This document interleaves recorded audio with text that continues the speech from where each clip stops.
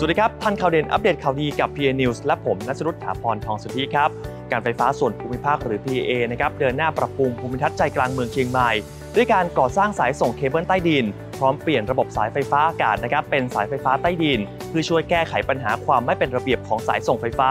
และความปลอดภัยในการใช้ไฟฟ้าของประชาชนและนักท่องเที่ยว เนื่องจากเป็นพื้นที่เศรษฐกิจที่สำคัญ นายประพันธ์ศรีนวลรองผู้ว่าการการไฟฟ้าส่วนภูมิภาค ลงนามในสัญญางานจ้างก่อสร้างสายส่งระบบ 115 kV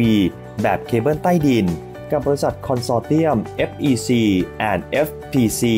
ซึ่งประกอบด้วย บริษัท Future Electrical Control จำกัด และบริษัท Future Power Construction จำกัด ภายใต้สัญญาดังกล่าว จะดำเนินการในช่วงสถานีไฟฟ้าเชียงใหม่ 7 ถึงสถานีไฟฟ้าเชียงใหม่ 6 ช่วงสถานีไฟฟ้าเชียงใหม่ 7 ถึงถนนอัศดาทรบริเวณแจ่งสีภูมิ รวมทั้งการก่อสร้างระบบจำหน่ายใต้ดิน 22 kV ช่วงถนนมหิดล บริเวณ 3 แยกสวนปรุง ถึงถนนอัศดาทรบริเวณแจ่งสีภูมิ ตามโครงการพัฒนาระบบไฟฟ้าในเมืองใหญ่ระยะที่ 1 ผ่านพื้นที่สำคัญในจังหวัดเชียงใหม่ ระยะทาง 4.48 กิโลเมตร ได้แก่ประตูแสนปุง ประตูสวนดอก ประตูช้างเผือก และวัดโลกโมลี ซึ่งระหว่างดำเนินการก่อสร้าง จะมีการจัดระเบียบเพื่อไม่ให้ส่งผลกระทบต่อชุมชนและผู้เกี่ยวข้อง การก่อสร้างสายระบบส่ง 115 kV แบบเคเบิลใต้ดินดังกล่าว เนื่องจากเป็นพื้นที่เศรษฐกิจ และเป็นเส้นทางการท่องเที่ยว ทางเทศบาลนครเชียงใหม่จึงได้นำสายไฟฟ้าลงดิน เพื่อให้เมืองเชียงใหม่ มีทัศนียภาพที่สวยงาม สะอาดตา และยังส่งเสริมภาพลักษณ์ที่ดีของเมืองท่องเที่ยวสำคัญ และพร้อมรองรับการจ่ายกระแสไฟฟ้าได้อย่างมีประสิทธิภาพ ประทับใจในเมืองเชียงใหม่ที่มีอารยธรรมเนี่ยตลักษณ์มีเรียกว่าเป็นเมืองที่มีอารยธรรมเก่าแก่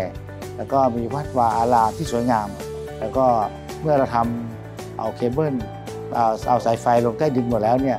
ก็สามารถที่ปลูกต้นไม้ทำภูมิทัศน์ต่างๆ ปรับให้สวยงาม แล้วก็เป็นเมืองที่น่าอยู่น่าท่องเที่ยว การก่อสร้างระบบเคเบิลใต้ดินของเมืองเชียงใหม่ เป็นหนึ่งในแผนงานการพัฒนาโครงการปรับปรุงภูมิทัศน์ใน 4 หัวเมืองใหญ่ประกอบด้วย หาดใหญ่จังหวัดสงขลา พัทยาจังหวัดชนบุรี อำเภอเมืองจังหวัดนครราชสีมา และเมืองเชียงใหม่ ซึ่ง PA พร้อมมีส่วนร่วมส่งเสริมคุณภาพชีวิตของประชาชน และขับเคลื่อนเศรษฐกิจสังคมให้เติบโตอย่างยั่งยืน การลงนามในครั้งนี้นะครับถือเป็นหนึ่งในวิสัยทัศน์ของ PEA ที่มุ่งสู่การเป็นไฟฟ้าอัจฉริยะเพื่อคุณภาพชีวิตที่ดีอย่างยั่งยืน